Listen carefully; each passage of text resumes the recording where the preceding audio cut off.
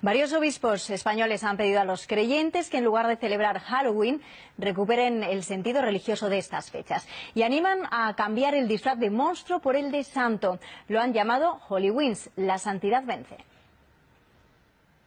San Fernando. Soy Santa Adelaida y Santa Teresa de Jesús. Preparan sus disfraces para la noche del 31 de octubre. En Alcalá de Henares, Madrid, iniciaron esta tradición para la noche de difuntos hace ocho años. Los niños investigan la historia de un santo y cómo se le representa porque los niños así conocen también referencias históricas y que son referencias que forman parte mm, del arte, de la tradición de la Iglesia, de la tradición de la humanidad. Otra opción distinta a, la que mayoritariamente todo el mundo está celebrando. No nos quedamos en la muerte, en las calaveras, ¿no? sino que vamos más allá. Hay más de 7.000 santos de todas las épocas y naciones. No todos han vestido hábito. Princesas como Santa Inés o reinas como Margarita de Escocia. También guerreros como San Jorge o reyes como Fernando III.